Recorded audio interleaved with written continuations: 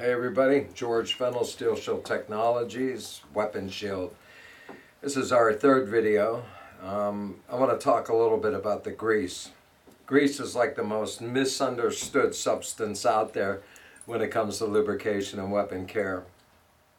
I know a lot of people um, use the grease on their Glocks, uh, on their Diamondbacks, quite, uh, quite a lot of weaponry that it seems to function very well on and under the right conditions. But from a lubrication engineer's standpoint, let me tell you about the grease, why I designed it the way I did, and what it was intended to be used for, just so you're better informed, and maybe it can help you make better use of the grease as well. As a lithium complex goes, Weapon Shield is the top of the line. There is no better grease out there. I will guarantee that. Um, I've always said that I will put my products where my mouth is. Anytime anybody uses or buys our products, uses them and feels that they aren't the best products in the world, I'll refund your money and your shipping. And I, you know, ironically, I've never had to do that because that's how well we perform. We are the best.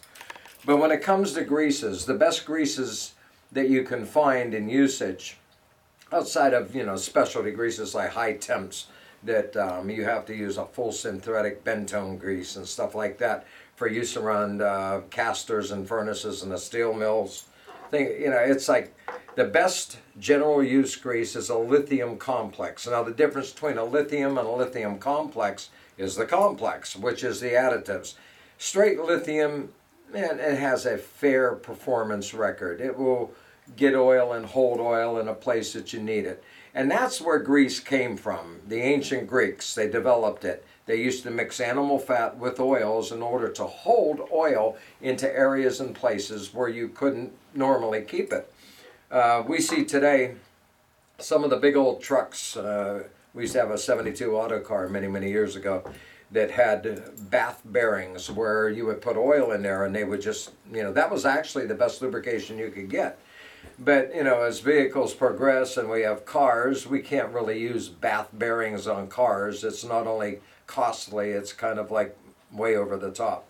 So what we go we go with sealed bearings with grease, and the grease grease is basically eighty percent of the grease is is oil, and the rest is thickener and additives. So when it comes to lithium complex, we build that lithium grease into a super lithium grease by using advanced additive technologies in the grease itself, which are anti-wear agents, which are um, surface performing and surface spread reagents, things like that. Uh, you can look it up and check it out. There's lots of information on grease. But grease can give you problems. That's the thing I've always been concerned about. When I designed it, uh, John Garand, who everybody's familiar with the M1 rifle, the M1A, uh, the Garand or Garand rifle, the M1 Garand. Um, that was the most popular rifle at the end of uh, World War II, as well as the Korean War up until Vietnam when they introduced the M16. But uh, General Patton even said the greatest contribution to warfare ever was the M1 Garand rifle. So that was designed by John Garand in order to incorporate grease into the trapdoor housing. A good example um, that we use on a commercial basis and private citizens use is the Mini 14 or the Mini 30 um, by Ruger. Uh, exact same copy on a scaled down version. The trap door, the bolt that rolls and locks on the top, has a, uh, a guide on it that has a channel, and that's uh, the way he designed that is it's called to be lubricated with grease. So with that in mind, that's one reason we developed it. Grease can give you these problems that I speak of when it gets cold or if you're in an extremely dusty, dirty environment. Grease is a magnet for garbage. I mean, it will pick up just about anything that you've got out there uh, in the way of contaminants, whether it's burnt powder, it'll suck it up. Uh, if you've got a, a highly dusty, uh, very dusty or highly dirty environment, it's going to pick it up and hold on to it. This stuff can kind of be abrasive too, this dirt, and, and, and can work itself in there. So you got to be careful. If you're shooting every day and it's working for you, using grease, say on your Glock or on whatever gun you're using it on, most shooters like to use it, you know, on the on the slide in the frame. Uh, they feel that the grease gives them a feeling of an added buffer of protection on there. It's an illusion, I guarantee you, because oil is better. Weapon shield is better, 100% better, uh, and over the top. But if it's working for you, fine. I'm not going to argue with people that like it. But remember, in cold temperatures, grease has what's called, in liquids, it's viscosity. In grease, it's a rheological thixotropy. And that thixotropy, or viscosity in grease, that's, that's kind of how you deal with it in a lubrication engineering sense, um, of, of a semi solid, which grease is. It has solids mixed in with oil. So you have basically, you might feel like there's a buffer there, but that buffer can give you problems. When the temperature drops, viscosity goes up. And that grease can quickly turn into a nightmare for cycling in very cold weather. Um, if you have grease on your on your weapon and you hit temperatures that are close to zero or below zero, it's going to slow your cycling down because the thickness or the viscosity of that grease just went through the ceiling from what it was, and almost it'll turn into a solid. It can actually lock your weapon up under the most extreme conditions. So be very careful uh, of how you're using that grease under the temperatures that you're using. If it's hot outside, you should be all right. If you're a low dust environment, you should be okay. If you've been using it successfully, continue because I'm sure you'll learn. If you have to move into an environment uh, that basically it's going to be very cold. I mean, a lot of us, USPSA, IDPA, compete through the winter months in some of the coldest climatic conditions that there are. And in those conditions, move away from the grease, move toward the weapon shield oil. You'll have no problems at all. That's good to minus 75 degrees. And that was tested by the United States Navy at McMurdo Station and by the Navy SEALs when uh, uh, we had FP 10 at the same time. So, uh, the other thing that I want to mention too about the grease before I move on to our last subject here is that the grease is great not for not for light machine guns but for medium machine guns like the saws, uh, your squad automatic weapon, the M249. It's ideal for that. Uh, I mean, it, it just it keeps them rocking and rolling. And weapons that generate a high amount of heat, like medium and heavy machine guns, the Ma Deuce is another one um, works very well in, the, uh, in those because the heat, our dropping point of the grease is five, 575 degrees. So the heat of these weapons can actually exceed that. And, um, but the grease will keep them rocking and rolling because the grease has weapon shield in it and it's always imparting its its attributes to it. I mean that's why it's working for you on some of the smaller stuff too. Under the right conditions, it will. I just always get kind of paranoid when people say, "Yeah, I'm using grease on this and grease on that," and um, you know, my first thought is, you're shooting in a cold climate, you're real dusty. You know, just just watch how you're using it, and I think everyone there will be fine. Lastly, I want to take just a moment to draw attention to our other products over here that um, Matt has set out. By the way, uh, come over here for a minute, Matt. I want to introduce everybody to Matt Grimm.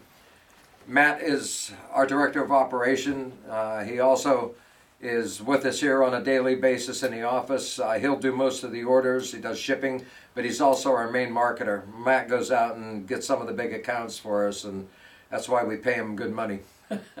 Anyhow, thank you, Matt. Thanks, George. The other products that Matt has set out here, just to give you an idea of our full line, you can see these products at www.steelshieldtech.com. That's steelshieldtech.com. And um, you can see our uh, episode on the Velocity channel that we filmed a few months ago. I think it was last fall. Uh, there's quite a lot of information on our products, our specifications. And like my weapon shield, the rest of the products that we've developed, this is not one product, by the way, in a lot of different labels and bottles. You will find that it's all been tailored and designed for the industries and for the usage that it's implied. Uh, we have Spray Shield, which is a general lubricant uh, that has some of our grease that's emulsified into a fluid because this way when you're spraying open gears and things like that, it'll gather dirt and dust and form kind of a little crust, but it'll hold that oil in there. And under those conditions, it's, it's great. Uh, more of an industrial type application or a home use application, sliding glass doors, things like that. This is our tool shield. That's for air tools, for pneumatic um, uh, instruments that basically operate on air. Uh, body tools, body hammers, chisels, things like that, sanders, DAs. A few drops of that daily will keep your tool running forever. We guarantee it. And it keeps it clean too. If you've got an air tool that's kind of plugged up, use that and it'll blow the black carbon out of it and all the gook and all the uh, the ancient carbon that's been in there and it actually brings dead tools back to life. And not only have I been told that, I've witnessed it, so it's that good. Then we have our strike shield. This is the king of penetration solutions. Um, you've heard of, you know, Blaster, uh, penet- you know, all the different penetrating oils that you may find on the market will put them to shame, I guarantee you. There's nothing like this. This will unfreeze the worst bolts, uh, the worst corroded conditions. It will dissolve the rust. Well, I've had people uh, tell me, and actually, while I was there, go put it on bolts that they have had problems and tried everything. Uh, as one guy told me, he says, I, I've tried WD 40 40 times and I still can't get it off. But uh, it'll do it. He put it on, and uh, he said within five minutes he took the bolts right off. But also, our engine shield, our transmission shield. Uh, this is for the engine of your car, your vehicle, your truck, anything. We have truck shield too, which is very, very similar. Um, but your transmission shield, you just put it in your transmission once and you're done. Engine shield, we recommend that you put it in every oil change. You will not believe the difference. You'll get more miles per gallon, more horsepower. We guarantee that you can get five more horsepower off the top end. And that's, you can prove it on a dynamometer uh, in a heartbeat. We got lots of dyno information that's on the website too. Our LithiShield grease, which is a bit different than our weapon shield grease. This is our industrial standard that has our additive in it that makes our other products famous. And it's used throughout industry, throughout the steel mills, the paper mill industry. And this, of course, there's a, uh, our two pound tub, or I'm sorry, our one pound tub uh, of NLGI. It's a number two of the National Lubricating Grease Institute. Everything is classified by its thickness or its NLGI number. Number two is your most common used. It is used in the automotive. In fact, this is approved for automotive use as for wheel bearings and undercarriages. Uh, this also is the same stuff. Uh, people will buy it like this and repack bearings, and I guarantee you the bearings will last forever. We also make trans uh, shield for motorcycles for your transmission, and also uh, V twin shield, which is for the engines. And uh, the most common question I get from people is, is it okay on a wet clutch? Absolutely.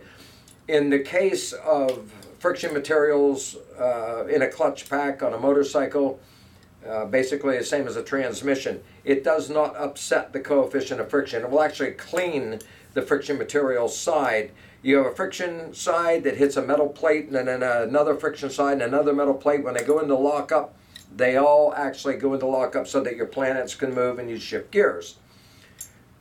It's amazing what it does without any slippage. It'll firm up your shift, it'll give you longer life, and I guarantee you, as we always have, it'll cool your transmission a minimum of 50 degrees. And heat is a transmission's worst enemy.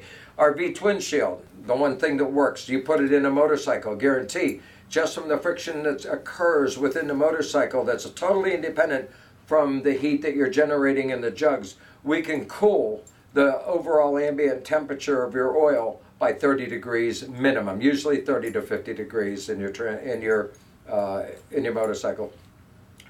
So, I mean, check out our products. You'll find even more out there. Um, I've just touched on a few of the attributes. I want to say one more thing about the grease.